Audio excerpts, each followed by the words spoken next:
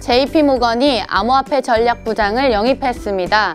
런던 출신의 29세 올리버 해리스를 블록체인 개발팀 산하의 암호화폐 전략부장으로 영입한 것인데요.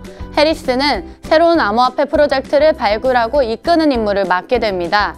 JP모건은 작년 비트코인은 사기라고 발언하는가 하면 월가 금융기관 중 가장 보수적인 접근 방식을 고집하는 것으로 유명한데요. 많은 기관들이 시간차는 있지만 하나둘씩 암호화폐 시장에 발을 들이고 있는 것 같습니다.